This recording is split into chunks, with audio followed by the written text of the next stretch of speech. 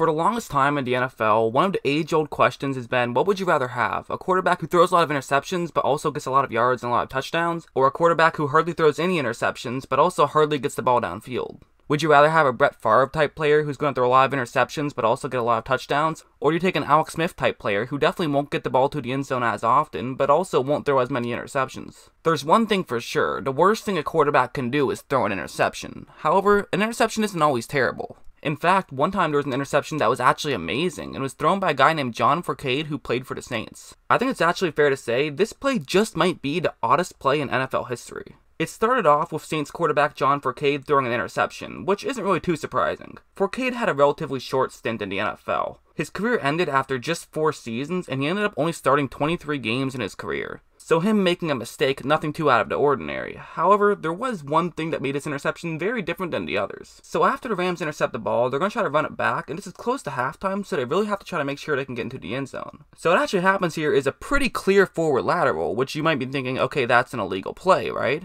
However, this play took place in 1987 when it was actually legal to gain yards on a forward fumble as long as the referees decided it was accidental. So back in the 80s, sometimes in desperation situations, this is the kind of thing that teams would try to do. We can call this idea the oops, I didn't mean to throw it to my wide open teammate downfield strategy. It worked this time. Rams defensive back Greg Williamson flipped it upfield to a defensive lineman who was able to gain a good amount of yards. Also, on a bit of a side note, this was Greg Williamson's first and only career interception, which really adds to the whole craziness of this play. Also, you might notice I didn't mention that defensive lineman's name, and this is because I don't know what his name is. And that's not because I'm just being lazy and don't want to do the research to find out who it is. His number is clearly 98, however, when I'm looking through the Saints roster from 1987 when this game took place, they had no player with the number 98. I checked on ProFootballDB.com and ProFootballReference.com, but there was no number 98 to be found. Perhaps this play was just so embarrassing he begged the NFL scorekeepers to scratch his name from the record books, or perhaps we're all living in a simulation and this was a glitch in the Matrix. Anyways, this mystery lineman inexplicably hurls the ball forward in a way that I would have thought was intentional if it didn't go directly to a Saints player. But not just any Saints player, it was John Fourcade himself. The man who threw the initial interception ended up recovering it and running it all the way for a touchdown, 77 yards. John Fourcade ended his career with 16 total touchdowns, 17 if you include this one. So that means that almost 6% of his total touchdowns throughout his career basically came when he was playing defense. Even more crazy about this play is 1987, the Saints defense didn't come up with a single touchdown. So this means that in 1987, the Saints had one defensive touchdown all year and it was by a quarterback. It's one of my favorite plays that's ever happened. However, this isn't the only time this type of situation has happened to the Saints. If you fast forward a couple decades now with Drew Brees playing for the Saints, actually a very similar thing happened. This time it wasn't Drew Brees who ended up getting the fumble return for a touchdown. However, it still kind of is pretty interesting that two different Saints quarterbacks have thrown interceptions that resulted in touchdowns for their team.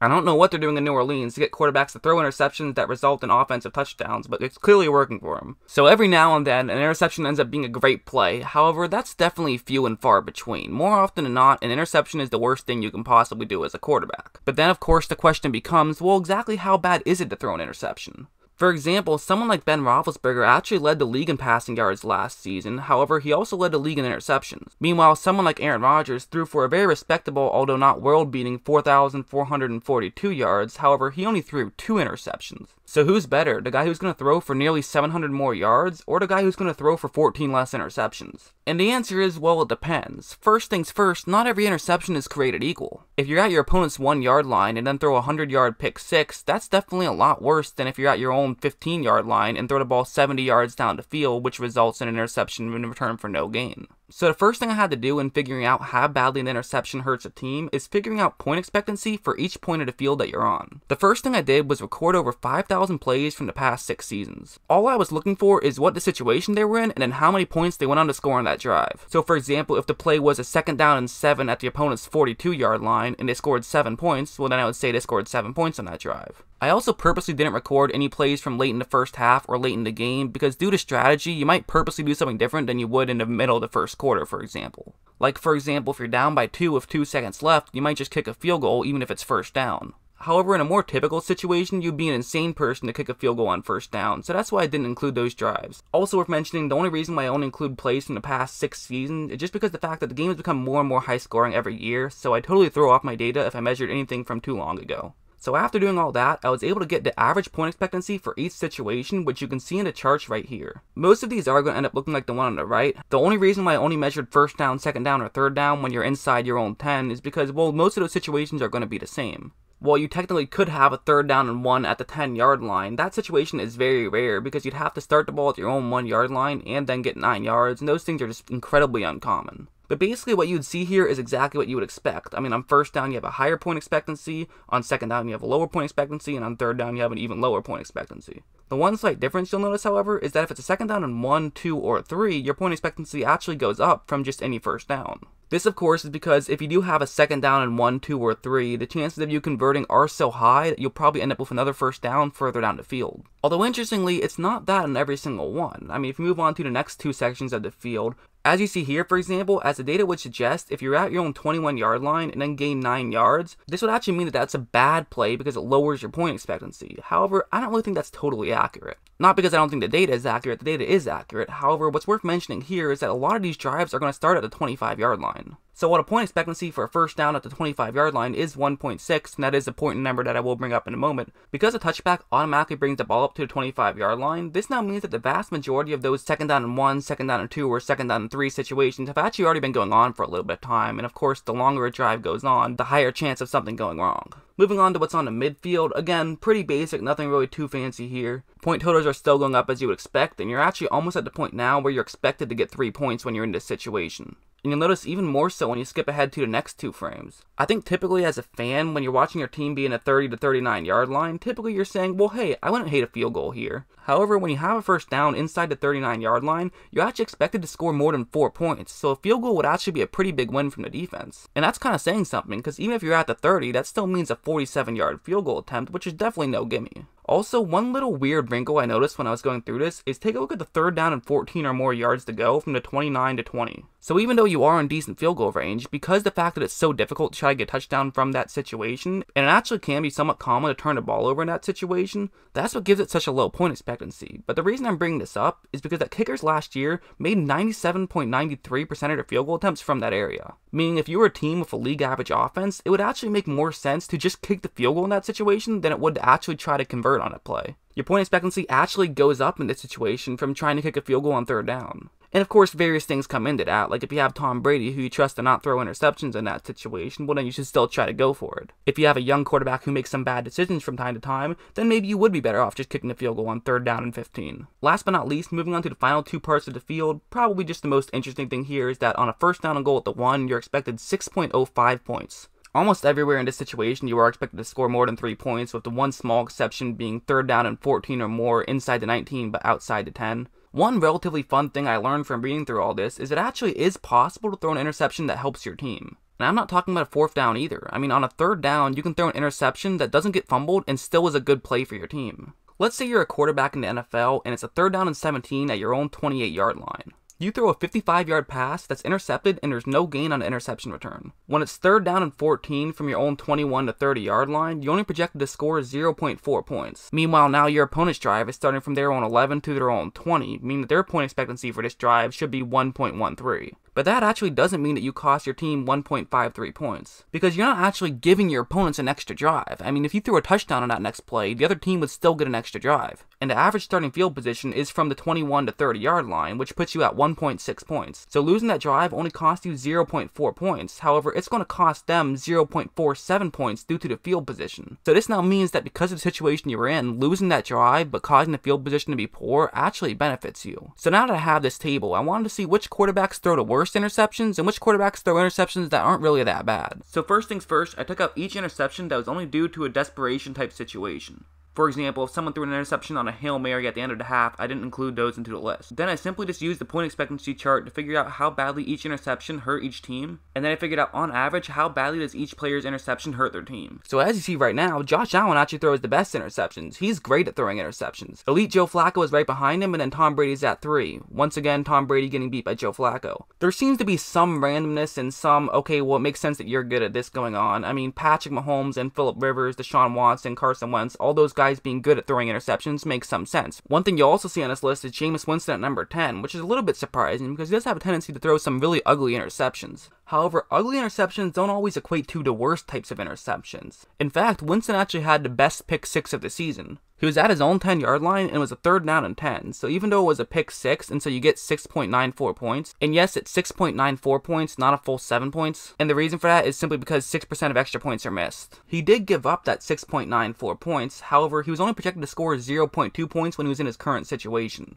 And again, because you're already given 1.6 points whenever you have a drive, this now means you have to subtract that out. Meaning, despite it being a pick 6, it actually only cost his team 5.54 points. You can also look ahead towards the bottom part of the list. I mean, Matt Ryan is actually 34th, which is a little bit surprisingly low. You'll also see Nathan Peterman at 35, which amazingly is actually going to be the highest he'll perform on any of these next lists I'll show you. You'll also see Alex Smith behind him, but that was largely just due to one bad interception, and also Russell Wilson, who is the worst in this category, mainly is there just because he threw two bad pick And that's kind of the key to this stat, is just avoiding those bad interceptions. This stat admittedly isn't the best, and I'm going to show some better ones in a second. But it's worth mentioning that while an average Russell Wilson interception during the 2018 season cost 4.86 points, he also only threw 7 interceptions. So despite his interceptions being a little bit worse than the average, that still doesn't mean that he was the worst guy at throwing interceptions. And speaking of the average interception, the title of this video is How Badly Does an Interception Hurt a Team? And I have the answer right now. It's 3.79 points. That's how badly an interception hurt a team. So that's kind of an interesting stat, but I think this next one will be a much better one. It's how many points on average did you lose per game in the 2018 season just by throwing interceptions? As you see right here, the top of the list is Aaron Rodgers, which makes a ton of sense. I mean, he only threw two interceptions all year, so obviously, no matter how bad his interceptions are, the chances are you're going to be very high on this list. The top of this list makes a ton of sense. It's a lot of guys who are known for taking care of the football. I mean, you got Aaron Rodgers, Drew Brees, Lamar Jackson, who just doesn't throw the ball a lot, so of course he's not going to lose many yards through the interceptions. You also got guys that keep getting called game managers and Dak Prescott and Alex Smith, and then probably the biggest surprise comes right there at number 7 with Joe Flacco. I mean, he's kind of become a meme at some point. I always refer to him as Elite Joe Flacco when I talk about him just because it's kind of funny. But he probably is a little bit underrated, and he is pretty good at taking care of the football. I won't go through each person on this list, but I will mention a couple of interesting things. One being that Russell Wilson actually ends up being 13 on this list, so even though he was the worst at throwing interceptions, only throwing 7 definitely made him pretty good on the list. Going down to the bottom 5, you got two San Francisco 49er quarterbacks in CJ Beathard and Jimmy Garoppolo. And of course, it wouldn't be a bottom 5 list if it wasn't for Nathan Peterman somewhere in that list. And now a lot of people might be saying, well, wait a second, isn't this just a lot of luck? I mean, no one wants to throw an interception, so isn't a lot of throwing an interception mostly just random? But I don't really think that's fair. Actually, one thing that I found pretty interesting is that the average interception only goes for 1.33 yards further down the field. Obviously, that doesn't mean that the average interception from the 50 yard line ends up at the 49 yard line because there's just so much variance in either direction.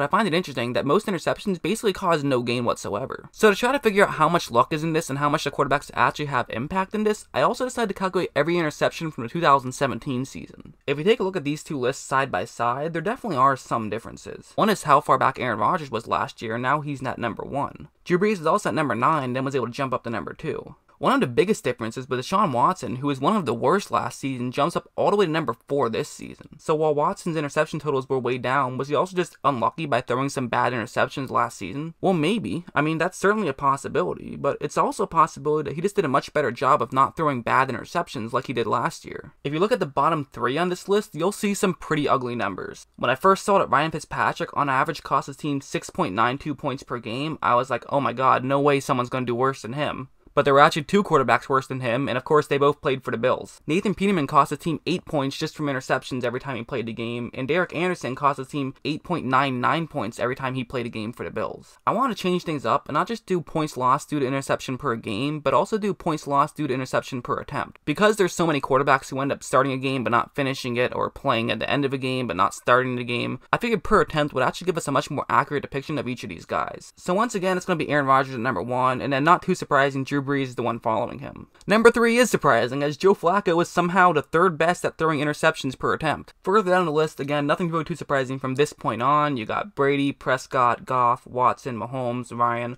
all guys you expect to be pretty high up on this list. So again, this doesn't mean necessarily how good are you as a quarterback, but how good are you at protecting the football. So while all those things are kind of interesting, none of them have answered my initial question. The whole point of this video is what would you rather have, a guy who throws more interceptions or a guy who moves the ball downfield more frequently? To figure that out, I had to find a way to combine the stat of passing yards with interceptions, and I actually think I did that pretty well. Since I now know how many points it costs a team to throw any select interception, I know how to figure out how many points do you gain from throwing a lot of passing yards. So to figure that out, I did the following. I found out that there was 174,362 total yards in 2018, and just for clarification, that's not just passing yards, but yards as a whole, and there was 11,952 total points in 2018. So just doing simple math, this now means that for every 14.58885207497 yards is equal to 1 point. So if you throw for roughly around 29 yards on one play, that actually equates to about 2 points. So what I did from here is figured out every quarterback's passing and rushing totals from 2018, and then I used this formula to figure out how many points did they add to their team.